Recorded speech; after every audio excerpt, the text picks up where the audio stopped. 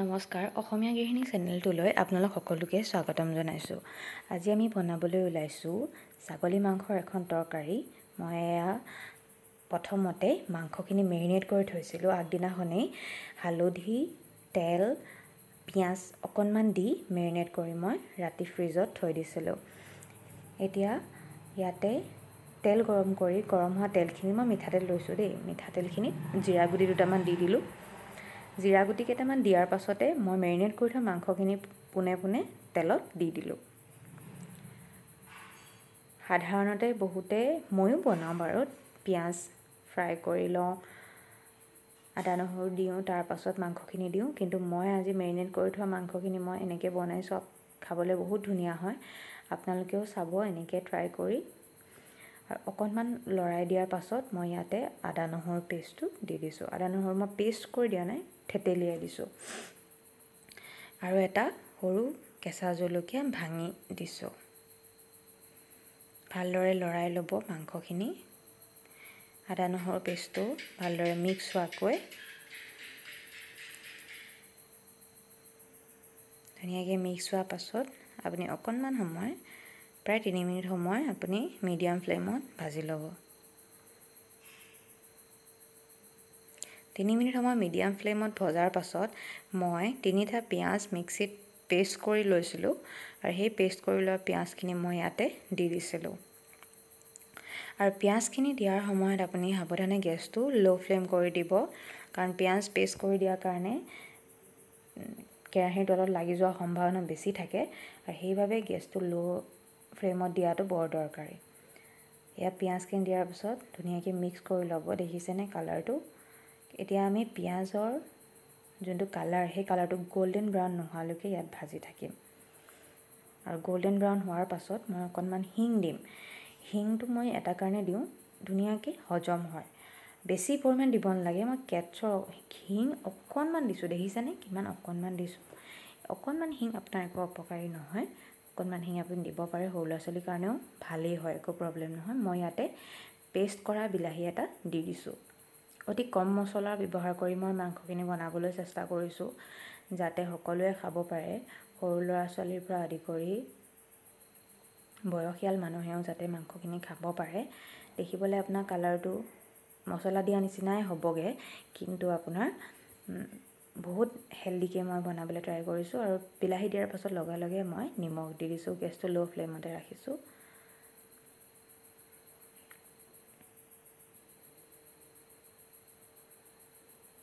মাংসখিনি colour change কৰিবলৈ ধৰিছে দেখিছেনে? অকণমান লাগিছে তলত কিন্তু ইমান লগ একেবাৰে দেৰি যোৱা নাই। সেইখিনি লাহে লাহে সাৱধানে এৰুৱাই দিব ভয় নকৰিব লাগিলেও একো নহয়।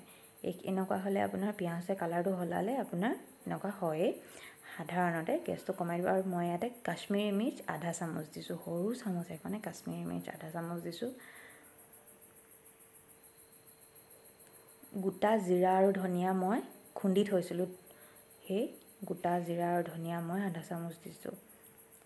আৰু অকণমান মিট মছলা দিম। আধা চামুচতকৈও অকণমান কম মিট মছলা মই ইয়াতে দিছোঁ। তাৰ পাছতে মই আলু দুটা সৰু আলু কাটি ইয়াতে দি দিছোঁ।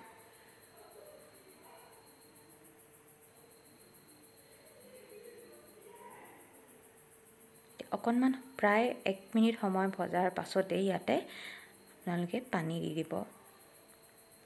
মই অকণমান প্ৰথমতে পানী দি লৰাই ল'লোঁ আৰু এতিয়া মই মাংসখিনি প্ৰেছাৰ কুকাৰত দিম। প্ৰেছাৰ কুকাৰত দিলে আপোনাৰ বহুত ধুনীয়াকৈ সিজে সকলোৱে খাবলৈ ভাল পায়। সৰু ল'ৰা ছোৱালীৰ পৰা আদি কৰি বয়সীয়াল মানুহেও খাবলৈ ভাল হ'ব মাংসকণ কোমল হ'ব।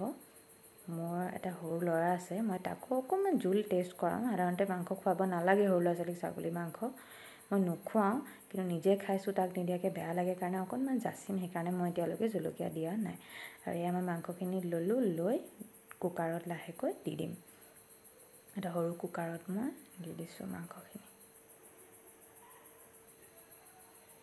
কুকাৰত দিয়াৰ পাছত মই পাঁচটা হুইচেল মাৰিছিলোঁ। পাঁচটা হুইচেল।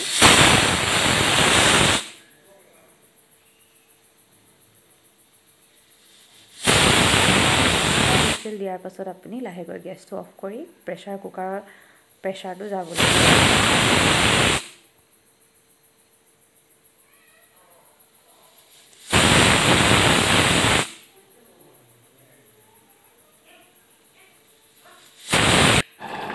মই লৰালে মাংস পাছত ইয়াতে দুটা ইলাচি আৰু দুটা শুকান জলকীয়া গৰম পানীত মই তিয়াই থেতেলিয়াই তিয়াই থৈছিলোঁ সেইখিনি দি দিলোঁ।